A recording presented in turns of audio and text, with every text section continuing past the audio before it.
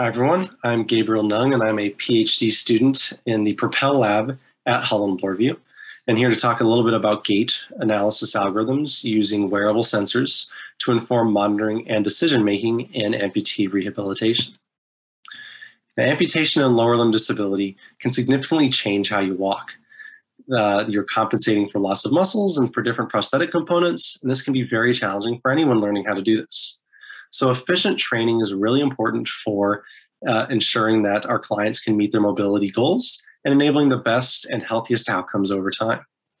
Conventional physio, which I've depicted below, is a back and forth process where clients are meeting with a physio and the physio is prescribing different exercises and monitoring how they're doing during these to assess how they're progressing and tailoring their treatment over time. Now, while this is effective, it's placing a significant burden on the PTs to continuously, from the outside, try to assess how they think that their their client is doing, and make decisions about the rehab. And it's missing a huge potential to optimize the way that PTs can evaluate clients and make decisions through the rehab process. Now, one manner to assist PTs is through gait analysis technology and researching and adopting that in standard clinical practice. Now, there are a variety of different kinds of systems that can do this uh, are we are primarily focused on inertial sensors. These sensors are low cost, they're simple to set up and use, and they can still provide lots of useful information. Uh, I'm betting this is most of you, but for anyone who has a smartphone or a smartwatch like an Apple Watch, all of these have inertial sensors, which are dictating a lot of the information you're getting from them.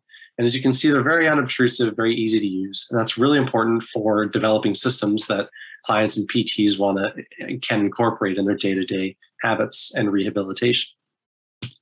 So that's really the focus of my research, which is looking at wearable sensor data collected during physiotherapy sessions and using that to develop systems that can expand rehab in and out of the clinic. These systems could be used in the clinic for progress evaluation, providing insights to PTs about specific gait features as well as their overall gait so that they can make objective and informed decisions about how their client is progressing in the exercises that are working for them. And we could also extend the system to be used outside for real-time feedback and monitoring uh, in the cl- outside the clinic. This can allow us and clients to take their training and tips with them wherever they go, at home, work, or wherever they are, and uh, monitor their gait and provide feedback to make sure that they're making consistent progress and making the fastest uh, progress possible. And so, by understanding these relationships between gait analysis and conventional rehab, this can allow us to develop uh, intuitive systems that clinicians can easily use to evaluate gait and improve outcomes.